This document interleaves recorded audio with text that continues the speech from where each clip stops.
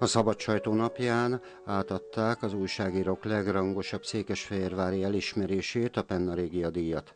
Ebben az esztendőben Tribolt Lajos, a Pannonlapok Társaságának munkatársa, a Fejér megyei hírlap újságírója érdemelte ki a kitüntető címet. A Penna Régia díj adományozásának gondolom az volt a szándék, amikor annak ide ezt a díjat létrehozták, hogy ezt a fajta munkát segítse és erősítse, és akik pedig ennek szellemében művelik az újságírást, mind, mind egy szakmai pályát, azok ezt a díjat megkapva meg is erősödjenek abban, hogy jó úton járnak ők maguk is, vagy adott esetben szerkesztőségek. Tribort Lajos jellegzetes stílusa évtizedeken átérhető tetten, olvasható napról napra a megyelapjában. Abba bízom, hogy az írott sajtó fontossága nem fog csökkenni, mert ma az internet és az elektronikus média világában is, amit a az újságban olvasnak, a hiteles újságokban olvasnak, például a Fehér megyei hírlapban, annak súlya van, az hivatkozási alap.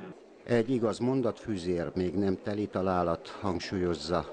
Sorban, sorban, sőt ezernyi sorokban kell gondolkodni, hitelesen.